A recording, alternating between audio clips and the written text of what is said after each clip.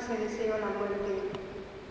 Basta, Señor. Acabamos de comenzar el cuarto episodio de la profesión perpetua de la hermana Rita María y que se celebró en la ciudad de Orihuela, Alicante, "Miró España, el día 10 merced a un de julio de sobre 1999, piedras en el convento de las. Hermanas Carmelitas Casa Madre Señor le volvió a y desde allí se consagró al Señor "Come, en esta Eucaristía es superior a tus fuerzas". en la que se vio arropada por los distintos fieles que se habían sumado sobras del alimento caminó 40 días y 40 a esta celebración en esta mañana para consagrarse a Dios. con ustedes el cuarto episodio. El Señor va a pasar. Vino un huracán tan violento que descuajaba los montes y hacía trizas las peñas delante del Señor. Pero el Señor no estaba en el viento. Después del viento vino un terremoto. Pero el Señor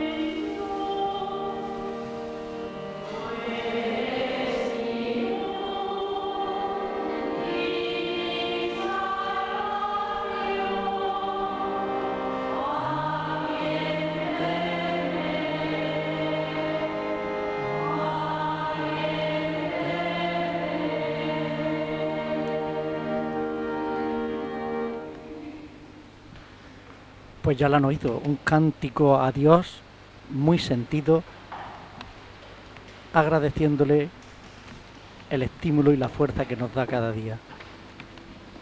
Maravillosamente interpretado por esta chica que ha venido de Juca. Hermanos, aunque hablara las lenguas de los hombres y de los ángeles, si no tengo caridad, soy como bronce que suena o címbalo que retiene. Aunque tuviera el don de profecía y conociera todos los misterios y toda la ciencia, aunque tuviera plenitud de fe como para trasladar montañas, si no tengo caridad, nada soy. Aunque repartiera todos mis bienes y entregara mi cuerpo a las llamas, si no tengo caridad, nada me aprovecha. La caridad es paciente, es servicial, la caridad no es indiviso, indivisa, no es cantanciosa. Se alegra, no se alegra de la injusticia, se alegra con la verdad. Todo lo excusa, todo lo cree, todo lo soporta. La caridad no acaba nunca. Palabra de Dios. Ha sido la lectura que ha efectuado la hermana Antonia de Cieza un poquitín nerviosa por la responsabilidad que tenía en ese momento de dirigirse a tantísimos fieles que hoy nos hemos dado cita para arropar a la hermana Rita María Wins. Esta es la capilla con la hornacina conteniendo la imagen del corazón de Jesús.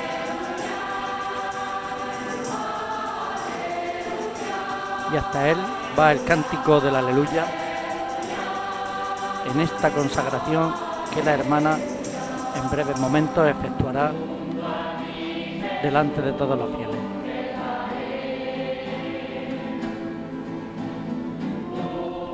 Hará sus promesas de castidad, pobreza y obediencia a la orden carmelita, que ofrecerá su trabajo en este apostolado de Cristo en la tierra. Para la gloria de Dios y de todos los santos. Ese es el retablo principal de esta entrañable iglesia del Carmen con la imagen titular de la Orden del Carmelo, Nuestra Señora, la Santísima Virgen María del Carmen, que aquí se la puede venerar en las misas dominicales que se le hacen cada semana. Escuchemos a don Antonio.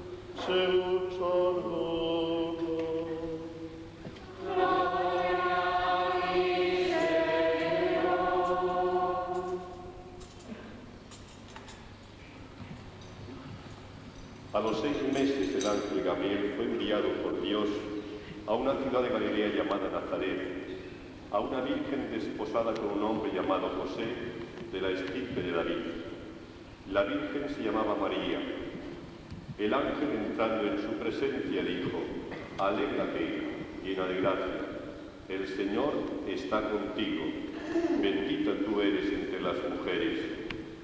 Ella se turbó ante estas palabras y se preguntaba qué saludo era aquel. El ángel le dijo, no temas María, porque has encontrado... Pues sintiéndolo mucho, ponemos punto final a este cuarto episodio de la profesión perpetua de la hermana Rita para emplazarle a todos ustedes, si así lo desean, a un nuevo momento en que a ustedes les apetezca estar aquí. Hasta luego.